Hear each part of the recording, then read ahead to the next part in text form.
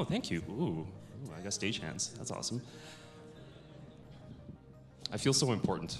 That's great. Thank you. All right. So we have a bit of time here to talk to Matt Mercer. Who would like to hear us talk to Matt Mercer? There we go. All right, Matt, coming up. Yay! Bye. Thank you for having me. Oh. This fine Oh, Sunday our pleasure. afternoon. Our pleasure entirely. How you been enjoying Calgary so far? Oh, it's been great. Awesome. As a, as a California, Southern California native, and a person that appreciates not super hot, glaring, destructive heat, uh, this has been perfect weather. You haven't been here in July. You haven't been to Southern California in July. Touche. no, but uh, no, we're, we're so glad to have you here, and uh, we actually have some time to uh, talk to you. For and this is basically kind of like a Q and A panel. So uh, I do have some questions. The thing is, I didn't know how long I was going to have you. so- okay, we can vamp, my friend. Yeah, okay. Make stuff up. We're good. Yeah, we could. Uh, what games have you been playing lately? Uh, let's see. Uh, well, yeah, Pillars of Eternity 2 Deadfires consumed me for the past week and a half. Um, before that, I j- yeah, the person. um, me and my wife just played through A Way Out recently, Ooh, okay, yeah. which is an awesome, an awesome couples game, by the way. It's like a, it's a co-op narrative game where you play two guys who are in prison and you're trying to break out and help each other out, and it's split screen and it's really fun actually. It's so there's like there are multiple endings and stuff, and you can fail. Can, can you fail? I mean, you can fail, yeah. Okay, that's probably not a game I should play with my girlfriend then. For the sake of my marriage. But that one's pretty cool. Um, um, Overwatch, I still play often as I can. Okay. Retribution event consumed a lot of my time. Yeah. Hey, but you know what? You're here. Everyone here is very happy you're here. So I'm happy to be here. exactly. All right, let's actually get started with, uh, with the sort of interview questions. Now, the thing is, I'm usually not a fan of typical interviews. You know, it's like, do, do you like being in video games? You know, that type of question, right? So we're, uh, I came up with a bunch, but there was a lot. So we're gonna do a speed round, okay? Okay. We're gonna do a speed round. So uh, I ask you a question. You come up with the first answer that comes to your head. Oh no. Okay. What is your favorite novel? Favorite novel? Yes. Uh, that would be House of Leaves. Ooh, that's the one where that's it gets all trippy. You have to like turn the book. Yeah. Ooh, yeah. okay. It's, it's one of my favorite kind of like psychological horror novels out there. Highly recommended. What's your favorite movie? Favorite movie? Lord of the Rings trilogy. If you consider that a movie. What's your least favorite movie? Least favorite movie? What is what is a crappy movie you've seen recently? oh man. Uh, the Last Witch Hunter. I don't think I I don't think I've heard of it. Which It's a is Vin Diesel movie. oh I like Vin, and I had the chance to play with him in D and D Oh, to yeah, promote yeah. the movie. so you met you met Vin Diesel. I, I did. I got to D- dungeon master for him. Wow. Okay, that's that, w- cool. that was crazy. And like when you meet somebody on that like super level of stardom, Yeah. there's like a 98% chance they're going to be a raging butthead. but he wasn't. He was actually very very nice, and we talked for like 20 minutes beforehand about just Dungeons and Dragons and his old character campaigns and everything, and I, it was really really cool. But the movie was pretty bad. I hope you didn't tell him that. no, no, it's fine. This isn't going on the internet, right? No. Okay. uh, your do, do you do do you partake in the alcohols? Uh, not often. Oh, okay. But I but when I do partake, usually it's to a a, a memorable degree. Okay. right. So you're a beer or wine, beer or wine person? I'm a wine person if I'm going to pick between the two. Okay. Yeah. Be- beef The or chicken? classiest of beers. Beef or chicken? Uh, chicken. Okay. Sunny day or rainy day? Rainy day. Okay. All day. Your least favorite vegetable? All of them. No, tomato. To, well, technically, tomatoes are fruit, so it doesn't really matter. Tomatoes suck. Tomatoes are. I mean, I like tomatoes. Yeah. Tomatoes being made into other things are fine. The transition helps, but just straight tomatoes. nah. Yeah, I, nah, I never put tomatoes on burgers. They just get soggy. Yeah. Uh, cats or dogs? Uh, uh, it's a hard choice. I like them both for different reasons. I'd probably have to go with uh, with cats because I don't. Mainly because I'm a very busy person. Right. And uh, you know, dogs require a lot of attention. I don't want them to feel neglected. But cats are like, whatever, man. I'll be over here. Yeah. Someone like someone just once told me, you know, like a cat thinks it owns you versus a dog knows you own it. That's a good distinction. Yeah, yeah. Yeah, I like the autonomy of it. Okay, sorry. The question is about to get really weird. Hmm. oh, that's okay. you- I'm pretty weird. If you could eat any celebrity to gain their power, who would you eat? Oh man, I would say if if Morgan Freeman. Morgan Freeman's not fair because that's like saying I ate God and I have all powers. yeah. Uh, but it's a good answer for that same reason. Uh, I would I would probably say Chris Pratt because I just want to be him. yeah. Yeah. I just want to be him. It's amazing. I, I Finally, got this is obligatory. Would you rather fight a hundred duck-sized horses or one horse-sized duck? I think the one horse-sized duck, because because once you manage to you know combat it for about 30 minutes or so, and you're both like gathering your power and taking a moment, you can ascertain where its weak point is and go Right. for that you know, final strike. You can't do that a hundred times. They're eventually going to Yeah, but I mean, you. they're like okay. I- I'm assuming like goslings though, like t- like tiny little or like little ducklings. Ah, swarms creep me out. Swarms? No. Okay. All right. All right. Cool. Uh, I just want to hear what a, horse-sized duck sounds like. like that's be a fun noise. That's close. you know, I, I have to ask you though. It's like, d- you know, you, with Critical Role being the way it is, and um, now, and with uh, you know, you you have had other roles other than Critical Role. Do you get recognized often? Yeah. Yeah. It's is it, is it, is it getting to that point? Yeah. It's it yeah, it's surreal. It, uh, it's a double-edged sword. Mm-hmm. Um, you know, I, I, I weirdly, uh, I'm a somewhat private person in a lot of ways, uh, though I put a lot of my life on the internet now. Um, so it is kind of it's interesting to be in a space where after years and years of being anonymous, having people on the street come up to you at places you wouldn't expect and be like, "Excuse me, are you Matt Mercer?" And my first thought is like, "Oh God, I look a mess right now." You know, I'm like in my pajamas, my hair is greasy, I'm getting groceries, and someone's like, Can I get a picture? I'm like, Sure.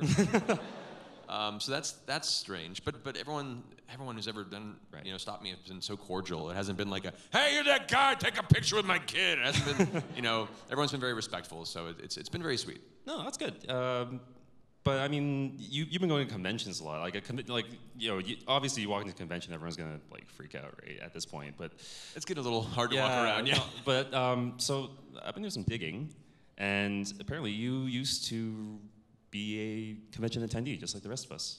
Oh yeah, no, my I've I've, I've gone uh, every year to Anime Expo since 1997. Wow. Um, yeah, guys. I've been going to cons longer than some of you have been alive. oh God. Uh, yeah, no, I've, I've, I've been an anime nerd my whole life, and True, so true con veteran. Uh, so, so I'm guessing that that's totally surreal for you to, to be on the other side of the curtain, the stage. yeah. extremely. Yeah. Like I, I was, I was the one spending hours in line to get into panels, you know, for different creators, and and going and buying way too much imported merch from the convention hall, and being like, well, I don't need to eat for a while. Um, so yeah, to, to, to be on the other side, the transition has been very surreal. And like I was heavily in the cosplay scene in the mid 2000s. That okay. was like, well, since I went to my like first con and was like, people can dress up outside of Halloween. This is amazing. So Yeah. it was an easy transition from there. So yeah, I've, I've been I've been pretty steeped in nerd culture. steeped. Uh, okay, so lost my train of thought. Uh, when when you do go to a convention, though, right? Like, does it does it make you wish you were anonymous, though? Like, you know, that you could actually just wander the halls as an attendee again? I mean, occasionally, but I, I've, I've learned how to, or am learning how to find better ways to go incognito when I do attend conventions. Like I usually try and hit the dealer's hall, and like artist alley is a big thing for me because there's a lot of really talented uh, indie artists who are trying to, you know, get their work Right. out there and do amazing work, and that's always been a special place in my heart. So I usually try and go to artist alley at every convention in some way, shape, or form. Um, but it is, it, it's becoming a, a challenging point. Yeah. Asks do help; Asks those have been help. tremendous. Yeah. I'm, you, what's the craziest mask you worn? To like because I'm you. not going to tell you because now you'll know where to Yeah, find exactly, me you're at the convention. That's a terrible well, idea. you, you. I'm guessing you have like like you know you switch masks for every con though, right? I can, but that's a lot of masks. Okay, all right. no, you can kind of make a game out of it. I mean, like Adam Savage does his incognito thing. At con- uh, Oh, that's been very much the inspiration to try to Yeah, get around yeah. with these things. I mean, he's much more recognizable than I am, so he, I'm sure he has to deal with it a lot worse. But, um, but yeah, and I'm, I'm, I'm trying to learn. Yeah. Uh, so you mentioned you, you've been going to AX since '97. Then that's so you. Do you have a favorite anime, like old school anime? Oh man, uh, Record of Lodoss War is one of my old school. That is old favorites. school. Yeah. That's a good one, and if you haven't watched it, it holds up, y'all. I'm just saying. Uh, oh man, oh, are so many great ones. I mean, the original Evangelion. Yeah. And I actually really enjoyed End of Evangelion because it was such a violent fu to, to all the Yeah, exactly. angry fanboys, and I was like, man, balls on that creator for just telling his audience deal with it. I thought that was kind of awesome. Good old Hideaki Anno. Yeah. yeah. That guy. Uh, yeah. No. It's. What do you think of a modern anime though? Like, I mean, you're in the industry. I mean, obviously. Yeah. You know, but I mean, like the, the direction that anime has taken. Like, do, do you do you feel this, it's different from the '80s and the '90s and stuff? Uh, in some ways, I mean, it's definitely become more widespread. So there's a lot Right. more anime content out there. I mean, back back in my day, uh, you know, there was like a handful of series that were really popular and present. Mm-hmm. So it was a very narrow scope comparatively. Whereas now there's so much anime production out there Right. that you can very easily find what your niche is, which is great because as the community expands, you need kind of that breadth of content. Right. Um, and I feel like, you know, that there'll always be kind of the anime that you can feel are a little phoned in or the ones that are definitely just retreading old tropes. But there's still a lot of shows that come out that really kind of are unique and fresh. And, you know, I think it's, it's, a, good, it's a good tale for, for storytellers out there in that medium uh, in Japan and animated you know, stuff here in the US that they're still coming up with very new uh, ideas and worlds and characters. So I, I would say it's definitely different. Um, I've, I'm a pers- personally been a huge fan of like the Fate series. Ooh. Um, I, Fate Zero, which I had the chance to work on, is still one of my most proud projects. It's such an Wow. incredible series. Um, so yeah, like there's still great stories being told. I- Is there any role that, or like, you know, a project that you've done that you feel is underrated? And why isn't Titanfall 2?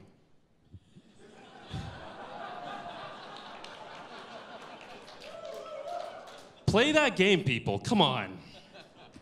Uh, project that I was that I worked on that I feel is underrated. Yeah. Uh, yeah, Masquerada.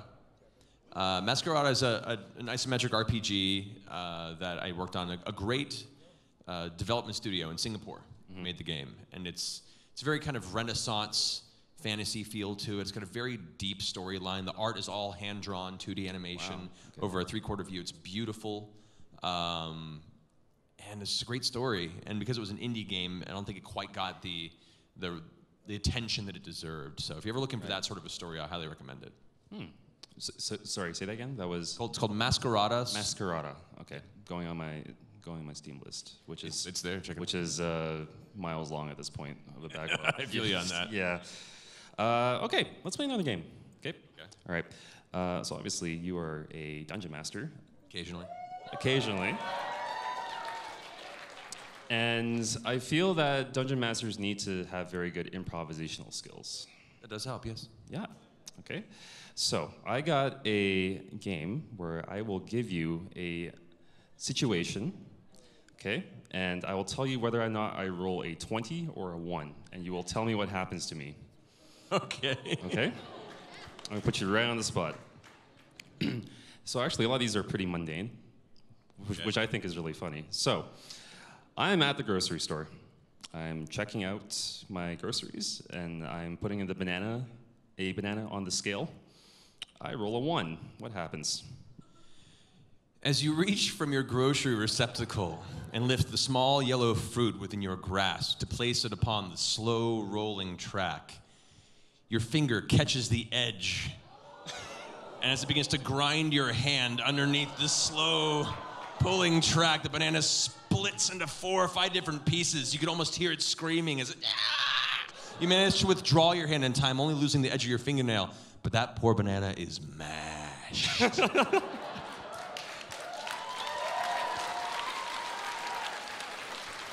That's fantastic. That is fantastic. You are fixing your car after a very long trip. Okay, you're fixing it up, giving it regular regular maintenance. You know, pouring in your windshield fluid and all that. You roll a 20. What happens to the car? Go with me here. I'm not a car guy. As you attach the pipe thing to the engine thing.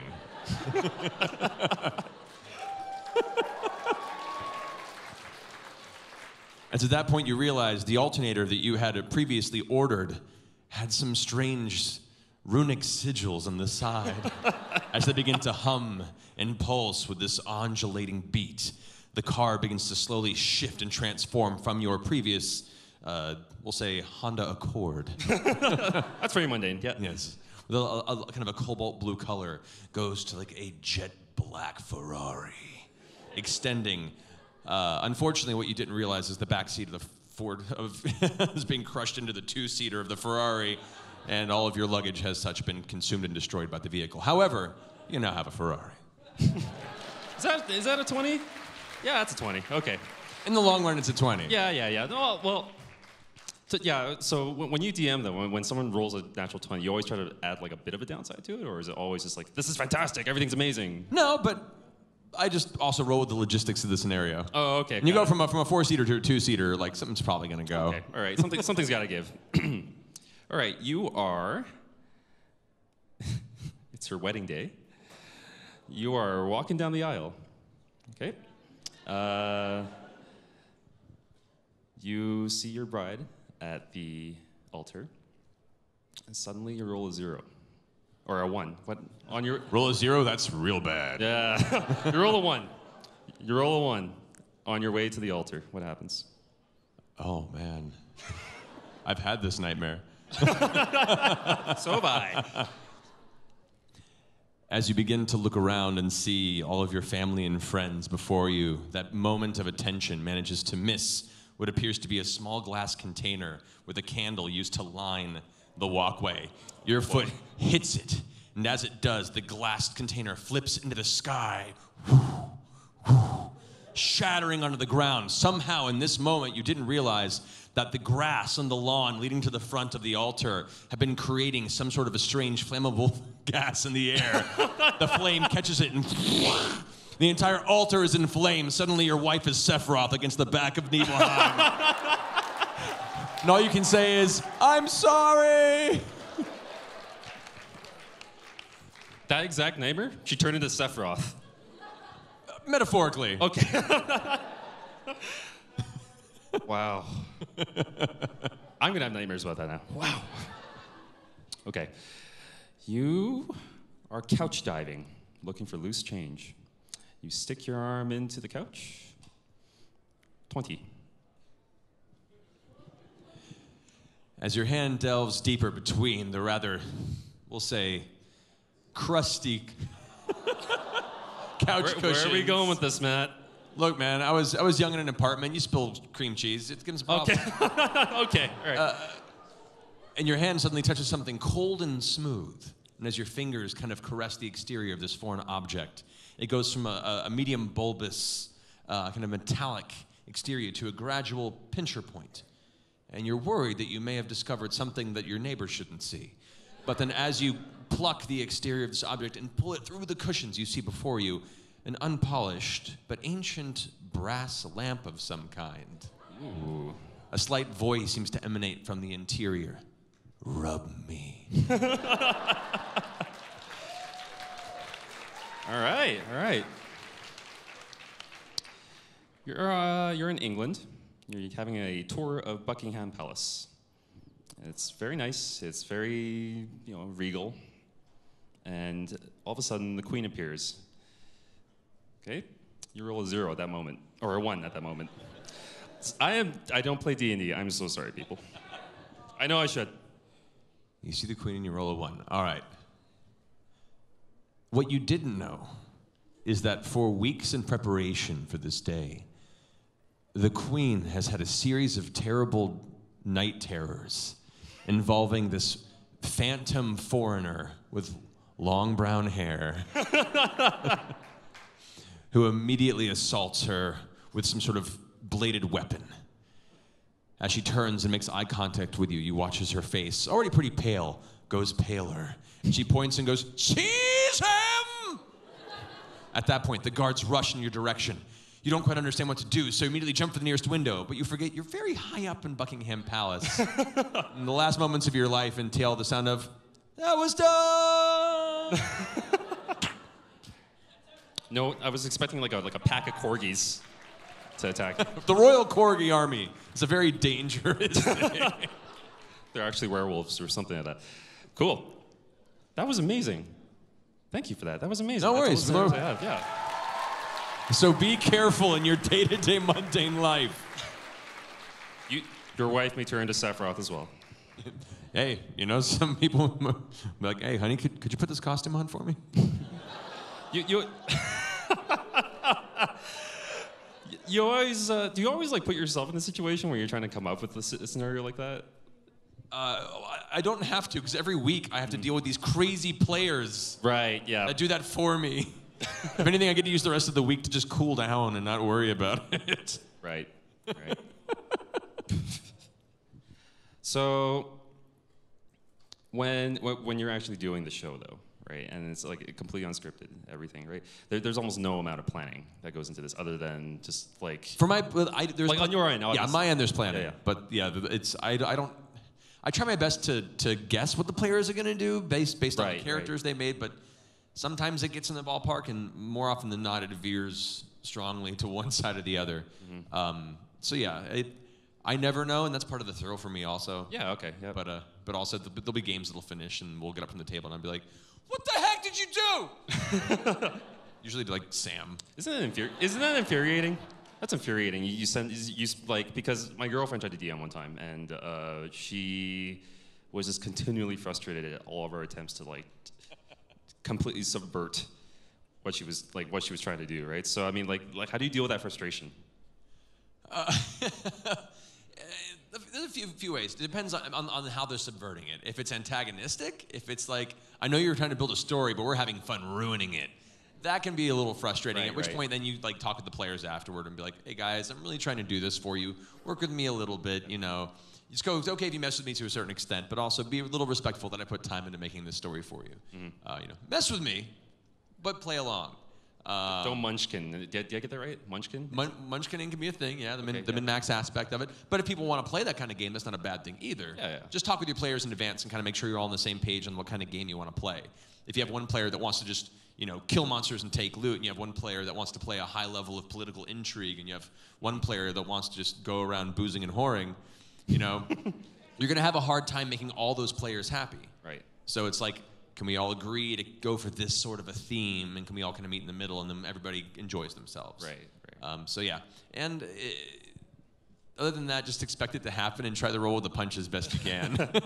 yeah. I, I think that's like the story of every DM's life. oh yeah. Yeah. And remember, some choices have consequences. So if a player really wants to subvert your story and the choices they make are really crazy, there's probably going to be some crazy consequences for that too. And that's where the fun the DM Right, right. comes with comeuppance. Like, okay, you want to ruin my story? Touche. I'll ruin you. Rocks fall, everyone dies. Uh,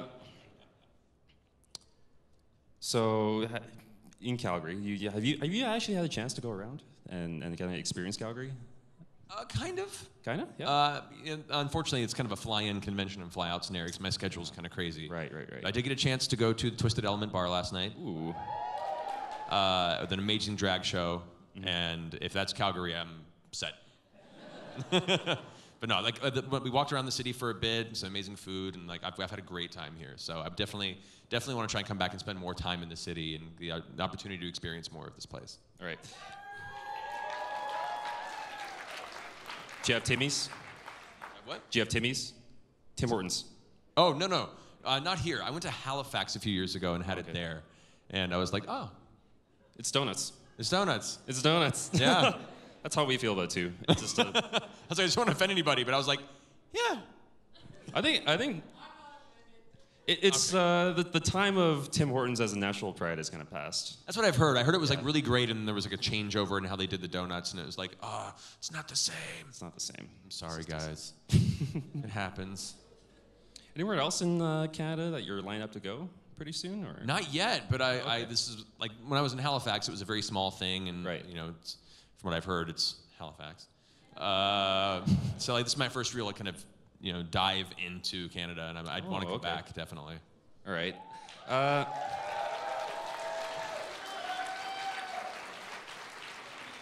what about uh, poutine? Did you try poutine? Oh yeah. oh yeah. What'd you think? Well, it's amazing. It's Okay, amazing. yeah, yeah, Like, yeah. And I've had like American poutine, and then like, oh, this is pretty good. Not the same. The cheese, the cheese must squeak. Yeah. It must squeak. Which is great because it's almost like it's almost like something crying out for help in its final moments. it's like next. That's my opinion. you take a bite of poutine, you roll a one. What happens?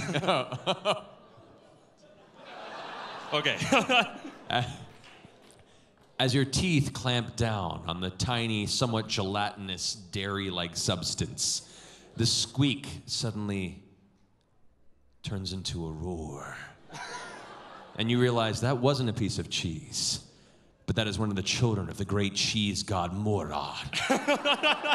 As you look over your shoulder, your jaw slackens, and the small piece of mildly crushed cheese tumbles out of your mouth as you see the gargantuan, white, gravy covered mother rocketing towards you with bared fangs and claw.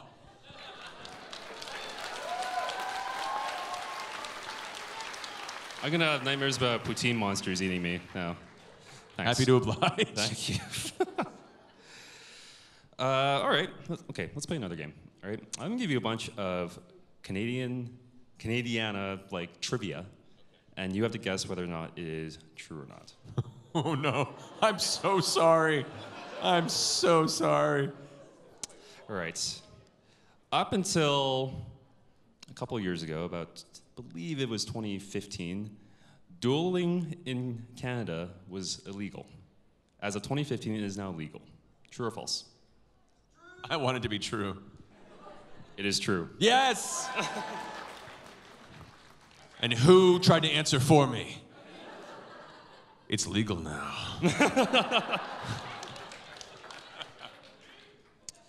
All right. Uh, Canada got its idea for plastic money from Australia. True or false? I'm gonna say false. It's true. It's true. Thanks, Australia. have, you, have, you, have you like felt the plastic money? Oh yeah. Well, uh, it's funny in a truly American way. I've Yeah. been, ar- I've, or not, not me American, but like America in its own country. I've been through Europe. I've been all through Southeast Asia. I've been to Australia, New Zealand, and everywhere has like colorful plastic money. And America's like, no, we're all gonna be different with less interesting money. It's gonna be green with.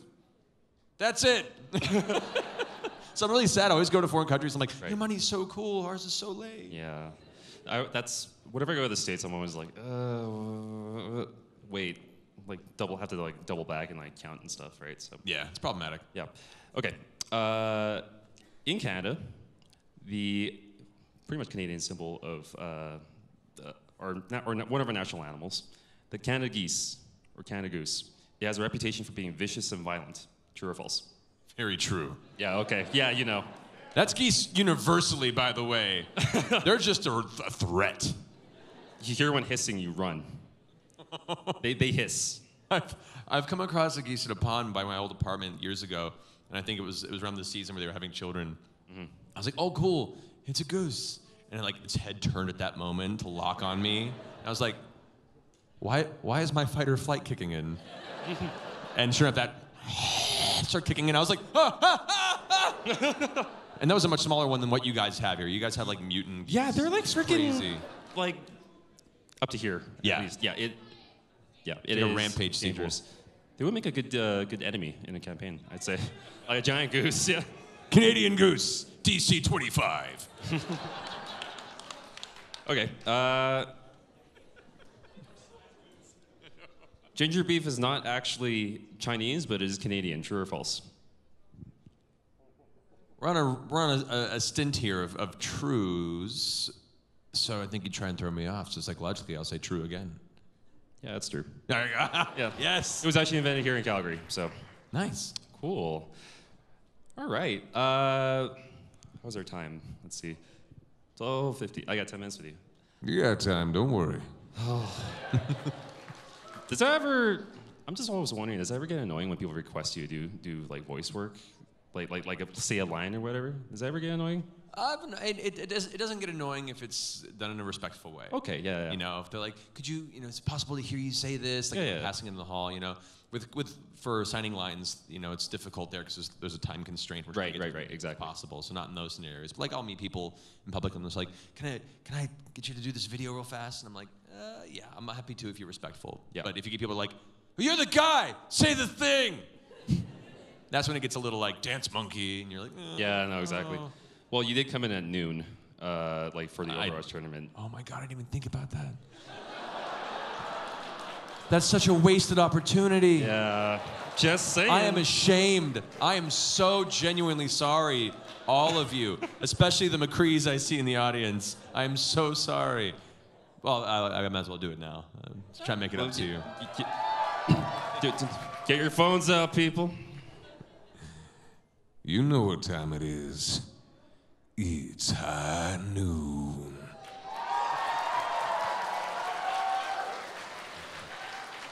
That's a lot better than my Italian accent, I'll tell you that.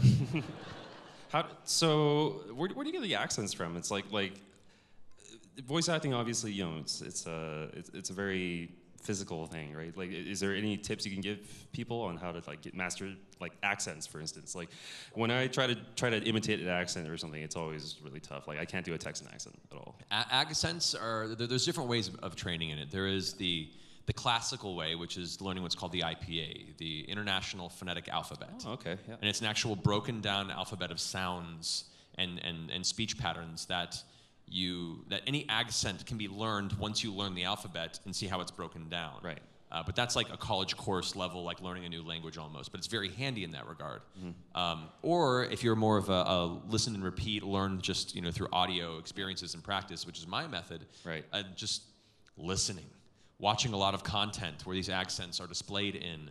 There's a wonderful website called the IDEA, or the International Dialects of English Archive. And it has just hundreds and hundreds and hundreds of audio files of people all over the world uh, and all of their regional dialects and accents reading English. And so it's just a great resource to listen and learn these different uh, accents. And then from there, it's just practice. Yeah, my girlfriend's a linguist. Actually, she would be really interested in that. So- Yeah, have her check that out. It's actually really cool. Yeah. Uh, so, so when you're at when you're at home, for instance, like, are you are you still like training or like? Always. I talk to myself all the time. It's it's you know part of part of the thing of being uh, an actor of any kind, but a, a voice actor is you're always having to learn how to expand your uh, your skill set and how to just keep your muscle going. You know, it, it is something that you have to work to keep keep Right. sharp and, and going. So. Whenever I'm alone in the car, alone in the shower, alone in just anywhere, I'm usually in some way, shape, or form trying out different voices and sounds. You know, like what would it sound like if I mixed these two characters I've already done? You know, if I had If I have like a low, kind of guttural, you know, growly voice, mm-hmm. What if I mixed it with like a little more of a, a, a, a pinched back throat? Suddenly this low, growly voice gets back here. You know, so like you, you, you mix elements and find weird new avenues there. Uh, so I'm often talking to myself in my car Oh, okay. So, so people look at you weird. all the time. Uh, okay. my, my wife used to make fun of me years ago. She'd like hear me talking to myself. she'd be like, Did you say something? No, I'm just talking to myself. Okay. And then when she began to get more voiceover work and she started doing it, I was like, ha ha! You making fun of me now, are you? it's like a million things going on in your head then. or- Yeah, no, it's it basically it's it's like controlled crazy. Uh, it you know it's it for me, growing up with voices in my head, now I have a place to put it. you know, channel it. It's good. You hear that, kids? Talk to yourself. You'll become a voice actor. Okay. Uh, so we have five minutes left, I believe. Do we? Okay. Yeah. Uh, all right. One last question. So, so you mentioned that you can kind of like mix and match voices. Yeah, yeah. Okay. I have a really, really, really weird one for you. Okay. If McCree was British,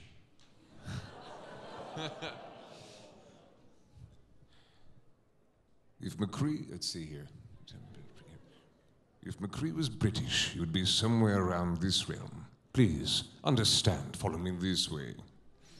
It's, uh, it's, it's sort of a, he sounds merely almost like a, a Shakespearean villain this way.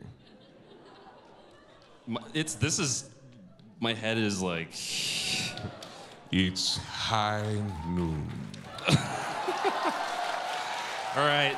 I think that's about as much time as we have. Everybody, give it up for Matt Mercer. Thank you guys.